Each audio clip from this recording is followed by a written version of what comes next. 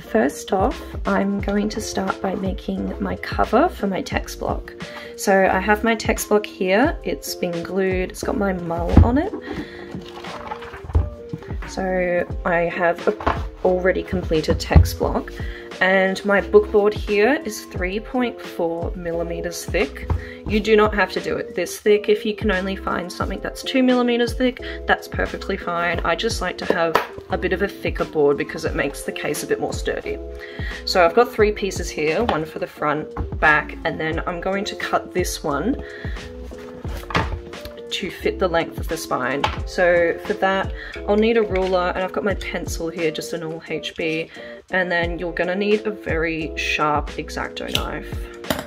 And I've also got my book cloth here. For this one, we're going to need something that has a linen or a cotton or just a fabricy feel to it. So nothing that has a gloss overlay or a waxed overlay. We're going to want something that's very rough textured because that's the way it's going to stick down with the HTV later on.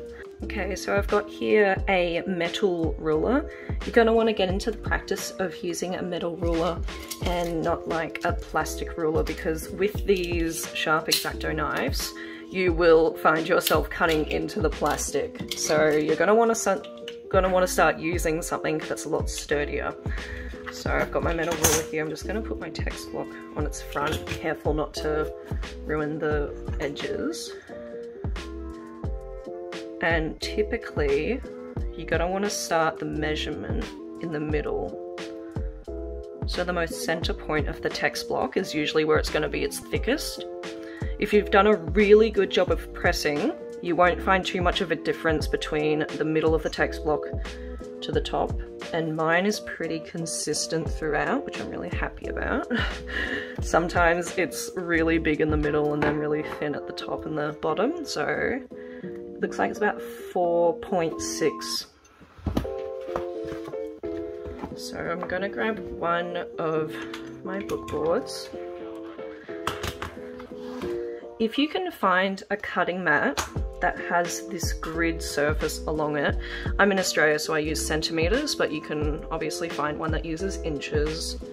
Um, it's really really good and helpful don't want it to be on a slant when I cut it. Okay, so it was just over four and a half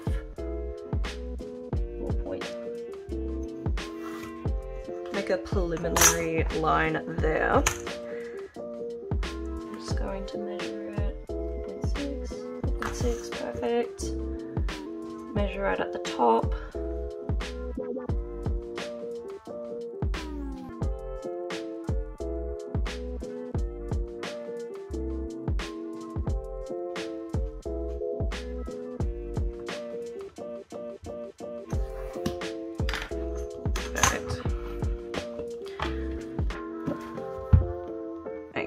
Perfect fit.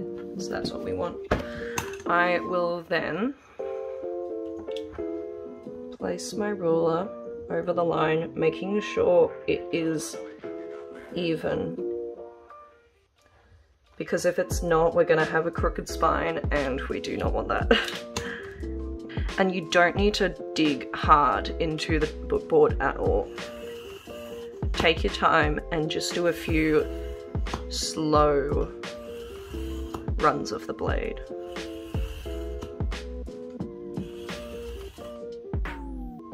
If you go too fast, you'll risk cutting off like that. So just go nice and slow. And there we go. I always put it up against my bookboard to check. Perfect. So you can see that that you can't see any of the text block poking out. It's a really good size. So I always make sure I check after I cut it, just, just in case I've gotten it wrong. okay, so now these are our three pieces of bookboard for the cover. I'm just going to cut out a piece of my book cloth so I don't have any excess. I'm just gonna roughly place it where it should end. And then I'll just leave about an inch and a half or two inches. I'm not really good with inches.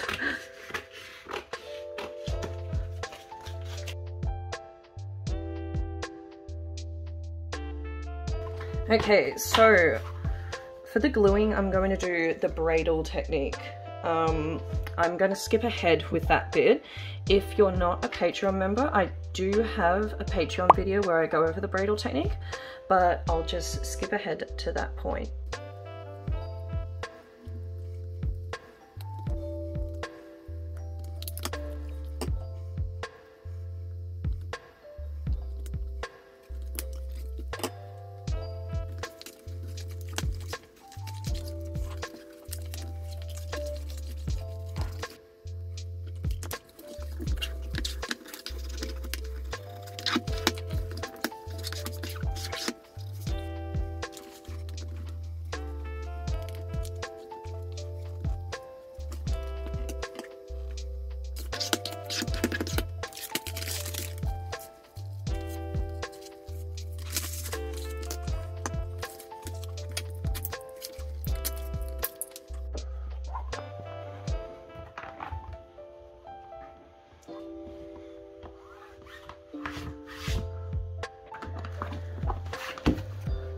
Okay, so I have finished making my case and I've let it dry. Once I let it dry, I like to just slip my text block into it, making sure that everything is all good. And yeah, it fits really nice and snug in there. The spine is a perfect fit, which is really good. So that's all good. Now, I am going to be using AGFA photo printable transfer paper. So it comes in two options. You've got one for dark material and then one for light material. So for this one, I'm obviously going to be using the light one, but if you're using a black book cloth or maybe like a dark red, you might want to look for a dark version and that'll just mean the color will come up more pigmented and it won't look so translucent on your dark book cloth but I'm going to be using the light one because I've chosen a white canvas for this basically. Okay, so we're going to go into the Cricut design space and then do a new project and upload. I'm going to be using my Cricut machine for this one, so um, if you have a silhouette, just go into their design space and do the same steps. So I'm going to be then choosing the image for my front cover. I'm really a fan of this artist's work, so I'm going to be using one of their images for my cover. I have edited out the background because I wanted to do a layering effect. So I've got the image up here and then I'm going to be using the select and erase tools to just get rid of some of the blemishes that I don't want on the cover.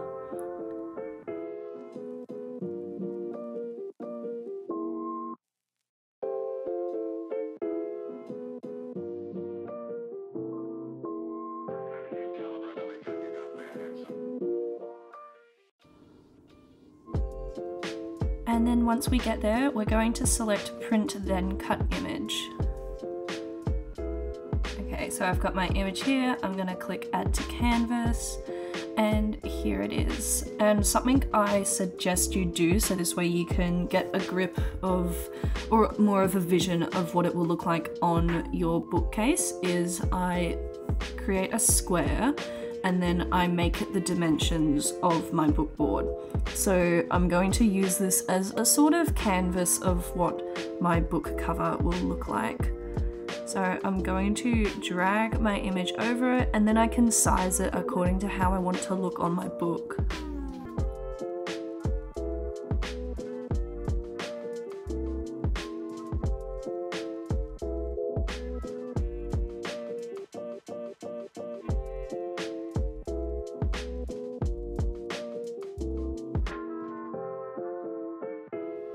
Searching for a font, I thought this would be a really good opportunity to explain the ethics of bookbinding, and in particular fanfiction bookbinding, which I know a lot of people are here for. So I myself, I am a non-profit fanfiction bookbinder, which means I take commissions from time to time and I only charge for the materials cost and shipping cost. That way I make no profit whatsoever off of any of these really awesome artists and amazing writers. So if you yourself are looking to bind your own copy for personal use or to make a gift for someone for, again, personal use, that is more than fine. Go ahead, go wild, but it's always a really good practice to search for the author's website, Tumblr, Instagram, Twitter, they have a lot of social media sites, and see if they've listed anywhere that they expressly do not want you to buy their work. Some authors, they're very private about their work and they would like to keep it only on the websites where they can access them. But most authors, they're really happy when people want to have a physical copy and buy their own work. But it's just good practice to make sure you're doing your due diligence and searching for permission.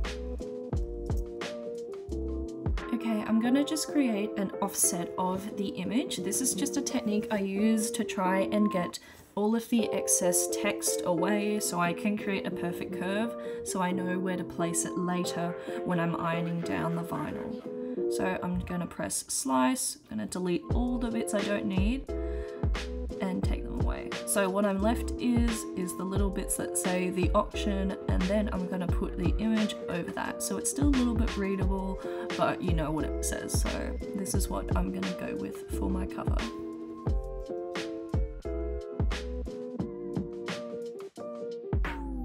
Then I'm just going to create this spine text, which I'm just going to have be the title of the book in the same font.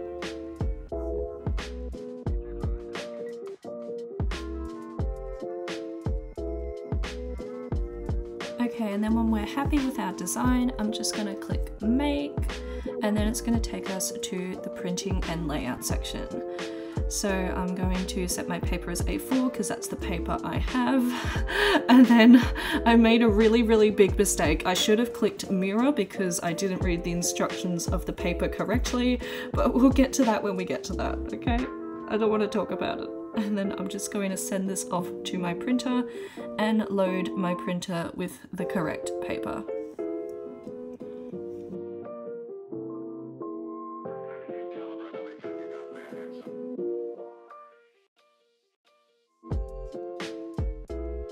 And after you finish loading your paper, go ahead and press print. And this is how it came out. It came out really, really good and I'm really happy with the color and everything. There's no smudges on the paper, so it worked really, really well. Just make sure you look at the instructions on the back of the paper you get because mine said that it has to be laid face down, which means everything is going to be backwards. So I've done it all wrong and I cut it out and everything. So I've gone back I've had to print it a second time. so this is me readjusting it so that it's right this time and I've also corrected it so it's cutting for paper and not iron on like I had it before. So make sure you're not like me and you read the actual instructions on the back of the paper because I had a very hard time.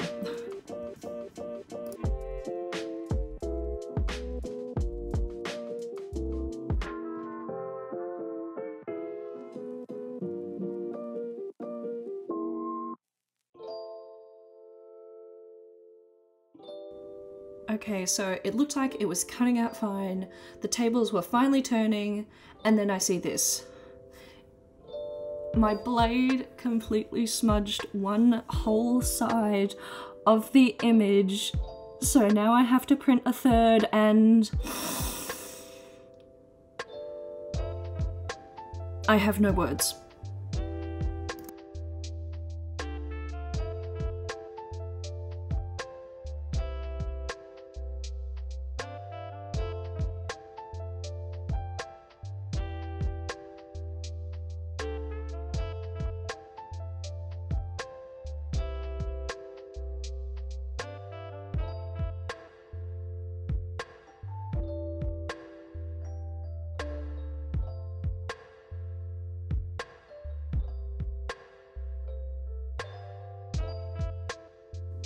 After the machine has finished cutting out all of the text and the images, I'm then going to start cutting away all the negative space. This step is called weeding, and basically, as I said before, it just means getting rid of all of that negative space, so all we're left with is the text.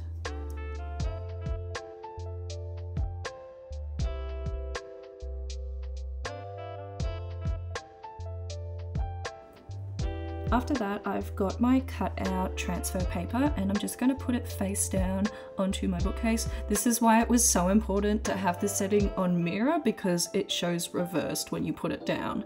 So I've got some heat proof tape and I'm going to tape it down to my bookcase now. And then I've got my easy press. I'm going to put it on the second heat setting and then I'm just going to put some baking paper over that to keep it a little bit more protected. Then when it's heated up, I'm just going to evenly press heat across the entire surface of the transfer paper.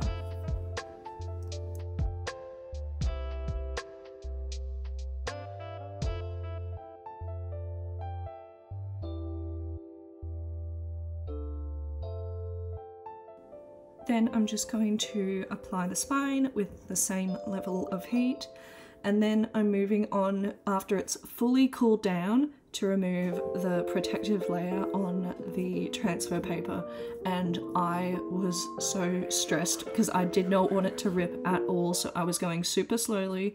You have to do the step after it's completely cooled down to the touch otherwise you'll just rip it off with you. So you have to go really slowly and make sure that it was cool.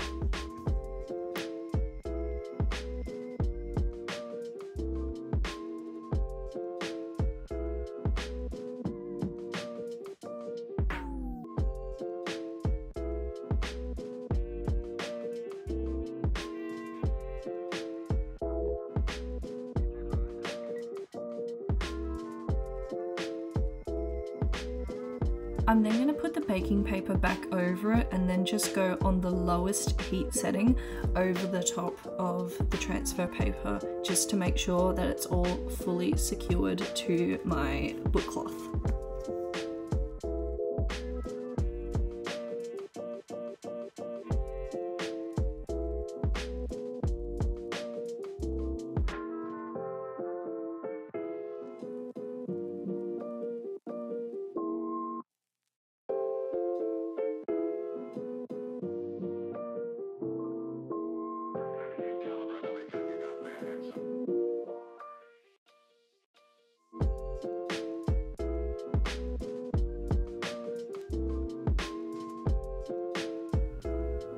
So this is what the cover looks like in the end before I've put the text block in it. I really like how it's come out. There are a few things I would change with this transfer paper. You can see that it's a little bit speckled on the edges and there's a little bit of a tear and it doesn't look so pigmented once it's put down onto the book cloth. But other than that, I really, really love the result. And this is it with the text block in it and I really, really love it. Um, I'm really proud of how it came out. So this is the whole book and I love this artist's work so much so I'm so happy that I could put one of her works on one of my covers. It's so beautiful and that is the final product. Thank you guys so much for watching. I really hope this tutorial helped. Please comment down below if there was anything you were confused on.